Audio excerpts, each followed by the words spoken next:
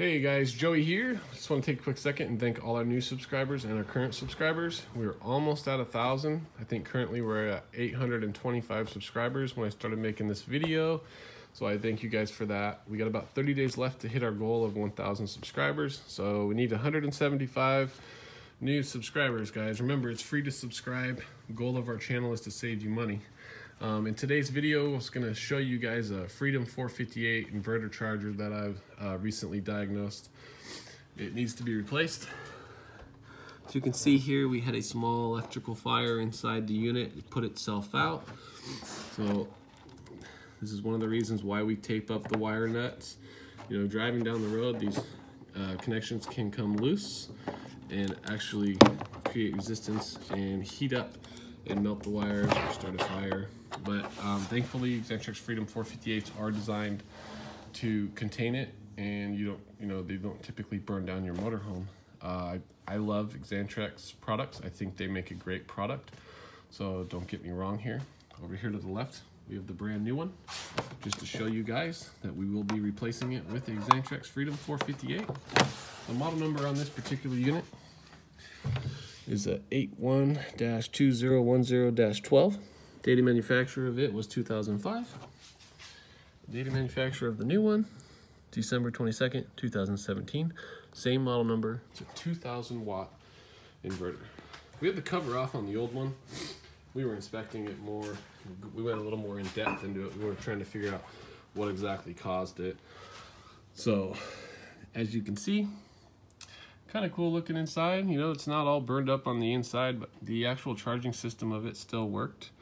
Um, the only thing that has failed on it is it no longer inverts power. So due to the age of it, it was more cost effective to go ahead and replace it.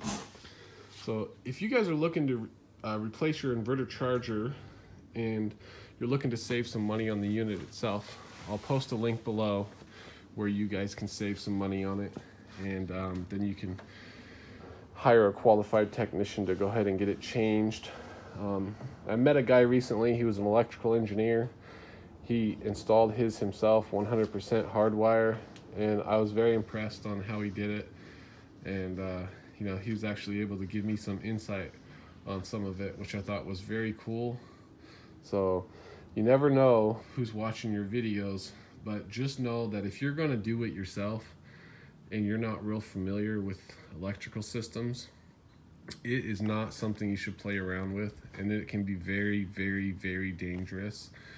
Um, you can start a fire, you can hurt yourself, end up in the hospital. I mean, you could kill yourself if you're being really scary with it.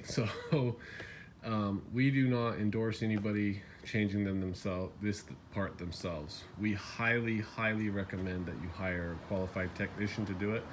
And by qualified, you know, you should definitely ask him questions and make sure he's qualified and not just some fly-by-night technician um, that's just gonna throw the part in. Now, I've seen some technicians, you know, they get to rolling on working on RVs here and they've done so many of them, they don't feel like they need to read the instructions. So my father taught me that regardless of what you know, when you get a new product, this one's a 2005. This one's a 2018. It is always a great idea to go through the instructions again and make sure nothing has changed and there's no other special procedures you need to perform before installing the product. That goes with anything. So when you're saying I don't need to read the instructions, it's always a good idea to go ahead and read them. It's amazing what you can learn by reading the instructions. Sometimes you can be in there and you can find um, codes for when you're diagnosing it. You know, all these little lights on here. Over temp, overload, AGM, low battery gel 2, charge gel 1, invert, wet. Um, I mean, just to better understand, and even if you have somebody else install it, by all means, ask for the instruction packet, go through it and read it. You'll learn a lot about your inverter and you'll actually like what you learn. So anyways, I hope this video was helpful to somebody out there. Maybe you have a inverter charger that has had a small electrical fire like this and you, you're freaking out because you don't really know what the problem is or maybe you're freaking out of the price of the unit. Um, click our link below. We think you'll you'll find that the price you see is great. Um, I'll post a link for the 2000 watt inverter charger that we have here on the bench.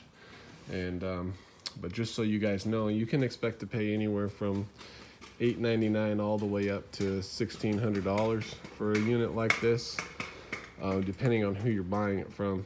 I think a fair price is anywhere around $1,000 to $1,100, I guess, depending on your market. But, um, you know, it retails for 1,400, just so you guys know. But anyways, guys, I really appreciate everybody that watches my videos, and I also really appreciate everybody that's been sharing them and helping me grow my uh, YouTube subscriber count. Um, we're looking at getting some better equipment for videos. Most of the time I have to record them myself and you know it can be difficult and challenging at times, you know, especially if I'm trying to show you how to do something. As for if you go back and look at some of my other videos, I usually will have somebody helping me videotape but um, I really enjoy making the videos, so I want to thank everybody that's subscribed and makes it possible for me to continue to make them for you. So until next time, safe travels out there, and I hope you guys are all having a better day and know that you've seen this video. Have a great day. We'll see you next time.